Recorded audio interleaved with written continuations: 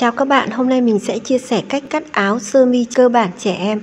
Mình sẽ hướng dẫn các bạn bằng công thức dễ nhất để cho các bạn mới học may hoặc là các bạn chưa học may thì các bạn xem là các bạn sẽ tự cắt được một cách dễ dàng. Và công thức này thì áp dụng cắt cho bé từ 1 đến 12 tuổi các bạn nhé. Và các bạn yêu thích cắt may thì bây giờ hãy vào thực hành cùng mình nhé. Và bây giờ thì chúng ta sẽ bắt đầu các bạn trải hai lần vải như thế này và trải vải cho thật bằng phẳng Tiếp theo thì từ đầu mép vải các bạn vào 5 xăng để chúng ta gấp vào để làm cái cúc.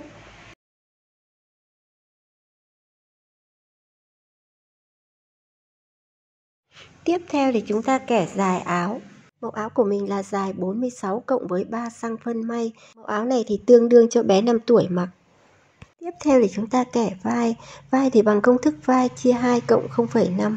Mẫu của mình là vai 27 chia 2 cộng 0,5 bằng 14 xăng.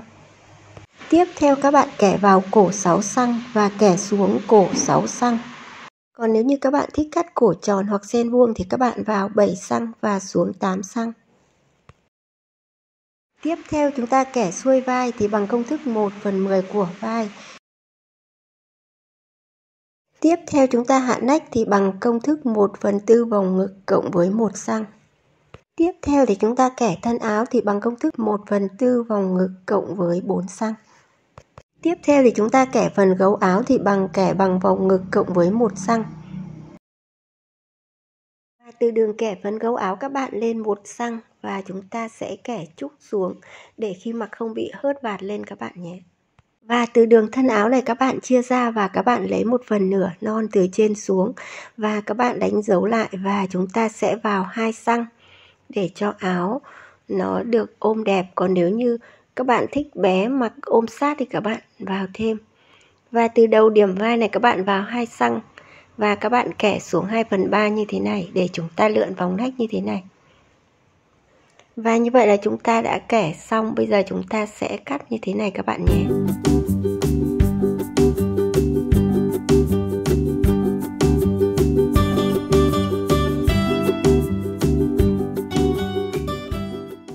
Tiếp theo thì chúng ta sẽ cắt thân sau của áo. Thì các bạn gấp vải vào như thế này. Và các bạn chỉ việc lấy thân trước của áo và các bạn đặt lên vải của thân sau như thế này. Và từ đỉnh điểm vai các bạn lên hai xăng, các bạn chuồng vai hai xăng. Và kẻ vai thân sau thì bằng vai thân trước. Và vào cổ thân sau thì bằng thân trước. Và xuống cổ thân sau hai xăng.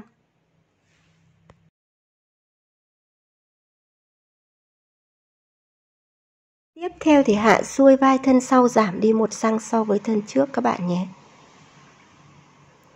Và các bạn sẽ đánh dấu cái điểm góc nách của thân trước xuống vải thân sau. Và chúng ta sẽ kẻ ngực của thân sau thì bằng kẻ bằng thân trước các bạn nhé. Và từ đầu điểm vai các bạn kẻ xuống đường góc nách và các bạn vào hai xăng kẻ thẳng xuống 2 phần 3 và chúng ta lượn đường nách của thân sau và điểm gấu áo của thân trước các bạn đánh dấu xuống vải thân sau. Thì thân trước khi nãy các bạn lên một xăng, thì thân sau chúng ta cũng sẽ lên một xăng. Ta vẽ lên như thế này để cho vạt áo đằng sau nó bằng các bạn nhé. Và như vậy là chúng ta đã vẽ xong. Bây giờ thì chúng ta sẽ cắt.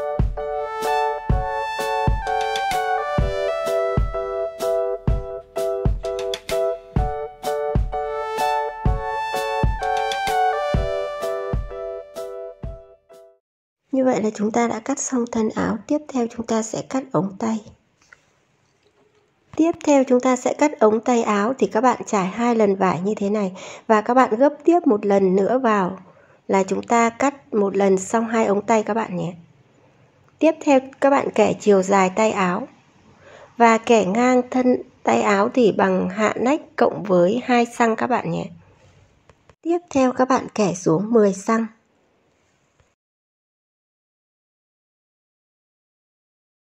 Và các bạn chia đôi điểm 10 xăng ra.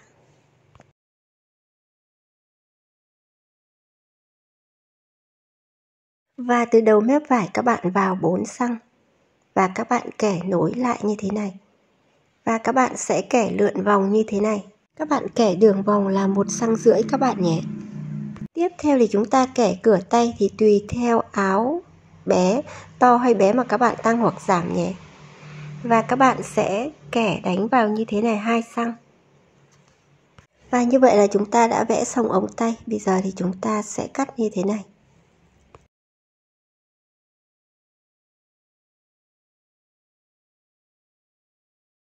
Tiếp theo thì chúng ta sẽ trải ống tay ra và các bạn sẽ cắt bỏ cái phần này đi như thế này nhé.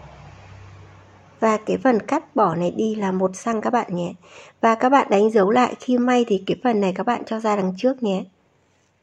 Và tiếp theo các bạn sẽ kẻ cái mang xét tay thì có chiều dài là 21 xăng và chiều rộng là 9 xăng.